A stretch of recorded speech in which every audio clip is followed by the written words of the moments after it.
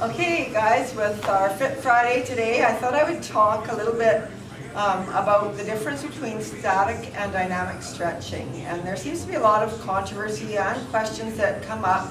People ask, you know, us, when should we stretch? Should we stretch before or after? Um, how should I get ready for my workout? What is best? Um, so I'll just explain the difference between a static stretch is a held stretch. So for example, a static stretch for your hamstring, I would just be holding a stretch for a sustained period of time, like maybe 60 seconds or more. So a long held stretch, that's a static stretch. A dynamic stretch for my hamstring would be to move in and out of that through a range of motion. So you're moving a joint through a range of motion without holding that position. Sort of visiting it, saying hello, and then moving away and back into that. So the science behind these two would speak to that um, dynamic stretching before your lifting sessions is what enhances performance. Static stretching can be done, you could do some longer holds so long as they were followed with some dynamic movement prior to your lift.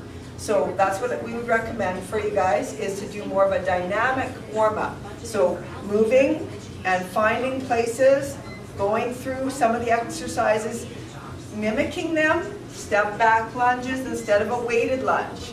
You know, doing some side-to-side lateral movement and visiting those places and not holding it for a long time before your workout. So there's lots of ways to stretch, lots of benefit to stretching. When people do look to do these things, they often remember their large muscle groups and then get going and they kind of forget the small muscle groups. So you've got to remember things like your shoulders. Okay, there's lots of shoulder injuries out there. So probably one of the most underrated uh, exercises for your upper body is a simple dynamic warm-up for your shoulders. It can be done without any body weight. And I call it the YTWL uh, movement series for your shoulders. And we're going to go through that and give you a little demo on that. It's a great thing to add in. You don't need any weight. You can do 10 to 20 reps um, of each of those four movements. Okay, so to go through this um, shoulder warm-up for you guys, you're going to probably use an incline bench if you have it.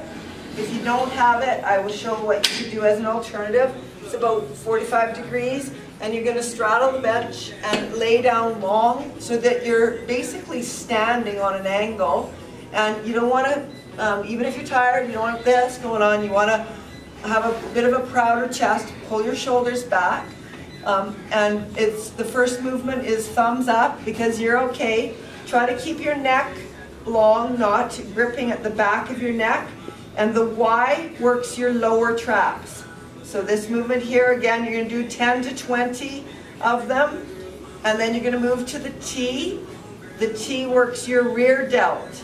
And again, try to stay neutral in your neck. Yeah. And then you're going to move into a W shape. So you're making like the letter W.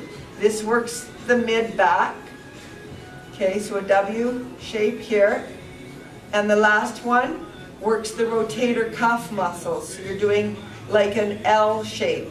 Make your arm like an L and lower down. So lifting and lowering. And you can actually just stay in the L shape as well. So all of these exercises, 10 to 20 reps, see how that fatigues and warms you up. If you don't have the incline bench, you can do this at home. You're going to keep your heart higher than the zipper of your pants. Try not to grip the back of your neck. And you can do it just in that bent over, um, chest lifted position like so. So the Y, the T, right here, and the W. You got it. And then the L. Good.